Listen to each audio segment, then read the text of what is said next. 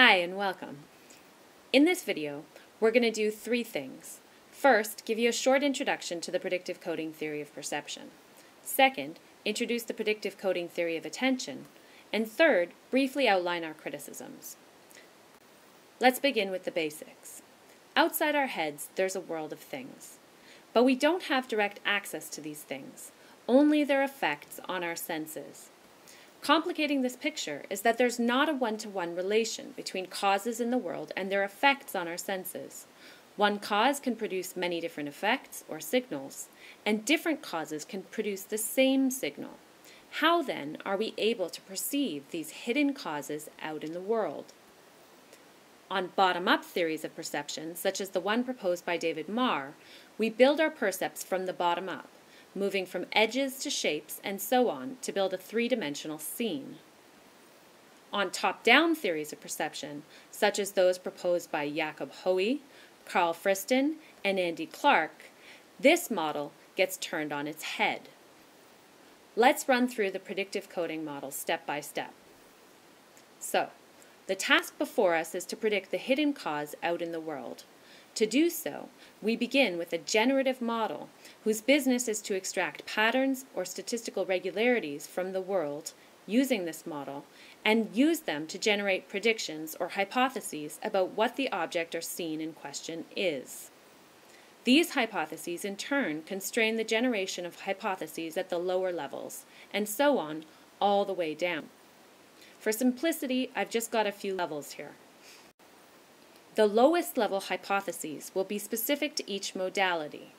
Here, the hypotheses are compared with the incoming information from the senses. If there's a mismatch, then prediction error is generated, represented here by the blue arrows. This prediction error is shunted up the hierarchy, causing the revision of the hypotheses at the level above.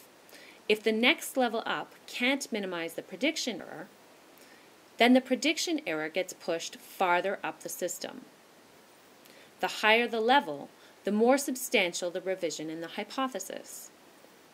Perception happens when prediction error is minimized, with the winning hypotheses forming the contents of perception. One problem for this picture is that sometimes what our senses receive is noise instead of bona fide signal. Revising a hypothesis on the basis of noise isn't a good idea because this reduces its accuracy. Notice that now we have a problem. Both noise and bona fide signal will generate prediction errors, but we only want to revise our hypotheses on the basis of signal, not noise. So we need a way of differentiating between the two. Luckily, noise occurs in regular patterns as well. For example, the prediction errors generated by vision are less reliable at night than during the day. Those from our hearing are generally less reliable at a noisy party than in a quiet room. From these patterns, we learn a special class of hypotheses about how reliable prediction error will be in a given context.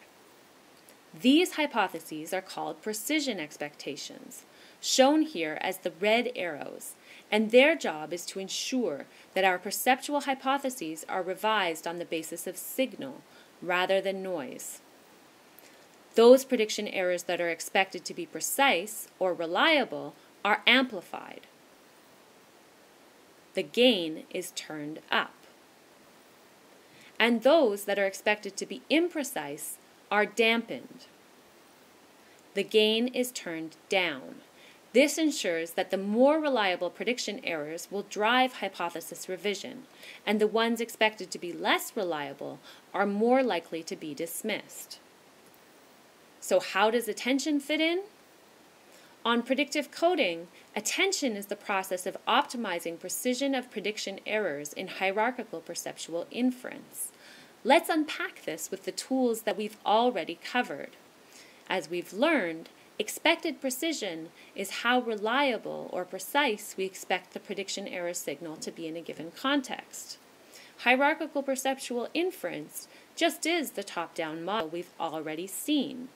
So, attention is the process of selecting the prediction errors expected to be the most precise and revising perceptual hypotheses on this basis. As we've seen, high expected precision causes pre prediction error to be amplified.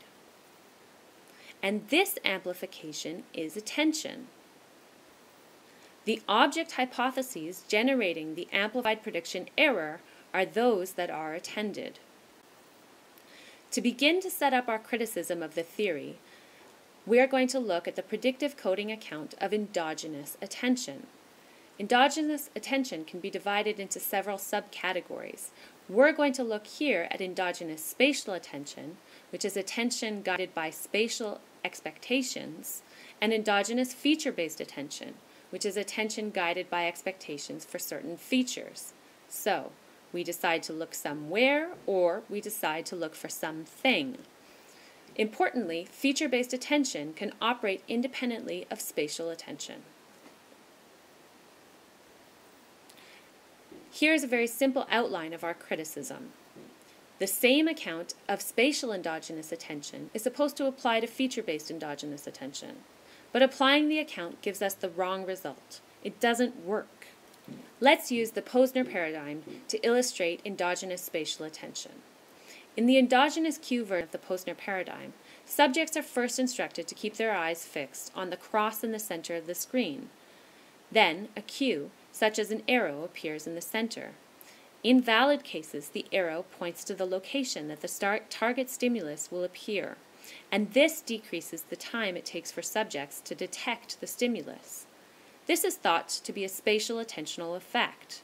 The cue allows subjects to shift their covert attention, that is, attend to the region without moving their eyes, and thanks to the attentional shift, they're faster at detecting the stimulus.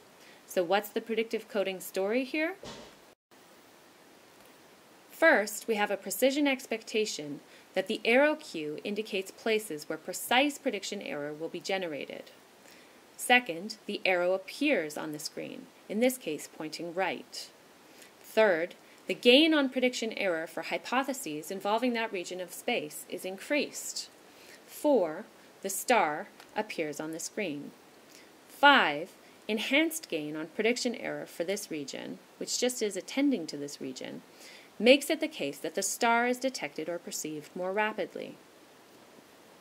How can we apply this account now to feature-based attention? Here's your endogenous featural cue. I'm going to show you a scene in which Waldo appears. Your job is to find him. If you're like me, his most salient feature is his red and white striped sweater, and so you're going to look for him by expecting this feature. The red and white striped items in this picture likely jumped out at you in a way that you might describe as driving or capturing your attention. What's the PC story here? It's supposed to be the same as the spatial account. Let's walk through it step by step. First, we have a precision expectation that the cue indicates features for which precise prediction error will be generated. Second, the feature cue appears on the screen, in this case, Waldo's red stripes. Three, the gain on prediction error for the featural hypothesis is increased. Four, the red striped objects in the beach pic appear on the screen. And five, enhanced gain on prediction error for feature hypothesis which is attending to this feature, makes it the case that the object is detected or perceived more rapidly. Our criticism stems on the third point, that the gain on prediction error for the featural hypothesis is increased at this moment. There are two problems with three. The first is that, unlike spatial attention, where we could increase the gain on prediction errors for the spatial region, here there's no actual perceptual hypothesis yet to generate prediction error. To diagnose the problem, the featural hypothesis needs to be selectively applied to the scene, to the space where these objects are located, or these features are located. But this is unknown prior to searching. Lack of spatial expectations for the striped objects or features makes it the case that the hypothesis can't be applied selectively to the scene. In other words, you can't turn up the gain on the red and white striped objects until you've located the red and white striped objects. So, it remains mysterious how attentional selection can occur based on the features of an object, rather than spatial location. To understand the second problem, let's go through the predictive coding proposal. Perceptual hypotheses contain a predicted color component. Why not just expect high precision from prediction errors generated by color? Prediction errors are always relative to a hypothesis. There's no such thing as free-floating prediction error. So, more specifically, let's turn up the gain on prediction errors generated by the hypothesis that is red striped. This would lead us to attend to the items that generate the largest prediction errors with respect to the hypothesis that is red striped. All the items that are not red and white striped. But this is the opposite of what occurs in endogenous feature-based attention. We attend to the red striped objects, not their opposite. So there's something wrong with the theory as it stands. In the paper, we consider a related worry and Andy Clark's reply. We also raise two other problems for the theory of attention. First is that it can't account for attention to our thoughts, and second is that it can't accommodate the guiding role of affective salience on attention. Thanks for watching. Our utmost thanks to Jakob Hohwy and Carolyn Dicey Jennings, who have provided really helpful and insightful comments on our paper, as well as to Minds Online for putting this conference together. You can ask us questions about this paper in the comments section at the Brains blog.